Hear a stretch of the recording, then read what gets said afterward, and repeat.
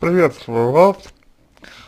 Прочитал я ваше только первое сообщение, э, всю ветку не читал, достаточно много, достаточно много текста, вот.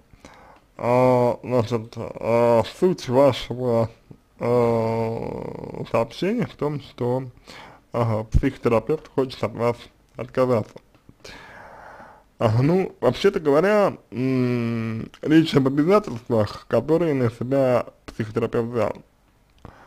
А, если у вас такие отношения и такой э, тип психотерапии, где отказываться нельзя, то то, что делает психотерапевт, это лишь показатель его непрофессиональности. Если те обязательства и тот вид психотерапии, который вы используете, а, действительно предполагают а, наличие отказа объективно, то психотерапевт действует прямо-таки в рамках своих прав.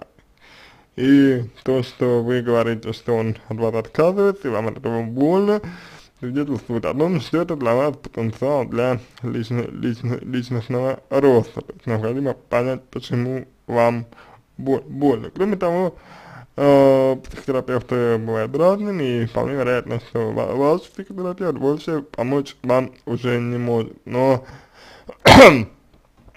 э, тот факт, что вы воспринимаете на свой счет, э, говорит о том, что а, у вас нет личных границ, б, вы не уверены в себе. И вы, как вариант, вы тянетесь к кому-то, кого вот вы считаете выше себя. Это такая вот психотическая модель поведения, модель поведения, да. Вот, поэтому э, я думаю, что здесь вам необходимо э, обратить внимание на это. Возможно, э, имеет смысл сформулировать новый запрос, другой запрос, в котором а, ваш психотерапевт может пом помочь и а, потихонечку, потихонечку вернуться опять к тому, о чем мы говорили изначально. А, на мой взгляд, э, специалист по отношению к вам поступает честно, понимая, что не может вам помочь, он, он или она, э, я точно не помню, она открыто говорит о том, что больше работать с вами не будет. Мне кажется, гораздо более честнее, чем если бы она продолжала с вами работать, мне чувствую, что а, может, может вам помочь. Вот. А, то, что а, специалист говорит, что ей тяжело с вами и так далее, это, к сожалению, не профессионально. Это, к сожалению, не профессиональное свидетельство о том, что а, ей э, требуется обратиться к супервизору для проработки своих собственных проблем. То есть она, условно говоря, заразилась, заразилась вашими проблемами. Такое, такое со специалистами бывает. Я думаю, что если это, если это то самое, то просто можно сделать небольшой перерыв, пусть она проходит к супервизору, вот, и когда придет в норму, спокойно продолжите с ней работать. Вот и все.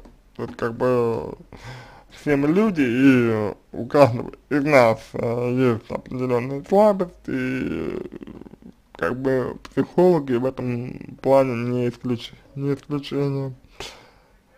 Вот. Дальше. А, значит, вот вы говорите, э, если э, психолог со мной не справляется, как я могу строить отношения с мужчинами? И у меня сразу вопрос, а для чего вам строить отношения с мужчинами? Почему вы хотите строить отношения с мужчинами? Э, не ставите ли вы себя в зависимость, э, когда ваша цель это другой человек, а не что-то выше, больше, глобально?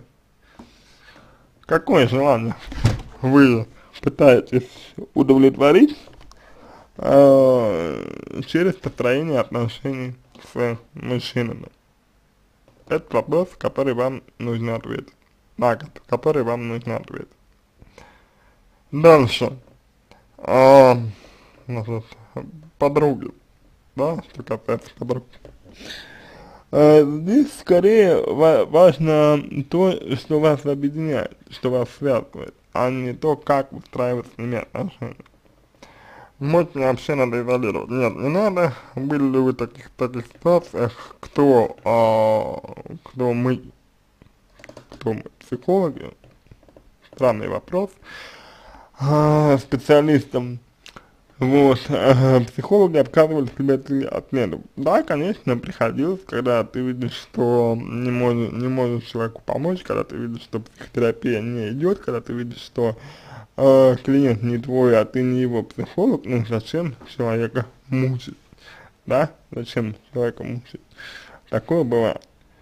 Поэтому это абсолютно нормальная история, и как бы профессиональные отношения, не стоит забывать, что вас именно профессиональные отношения, и что, а, повторюсь, если не было оговорено иного, то специалист в любой момент имеет право завершить э, с вами отношения, если у него нет материальных обязательств перед вами. Вот, так что, мне кажется, что здесь вы просто немножечко путаете э, профессиональные и уже личные, личные отношения. Опять же, это связано с тем, что у вас есть, вероятно, проблемы личных, личных, личных границ. Ну, я так, я так думаю. Вот. Такой можно дать вам ответ. Надеюсь, что помог вам. А, а, я желаю вам всего самого доброго, удачи и надеюсь, что ситуация разрешится.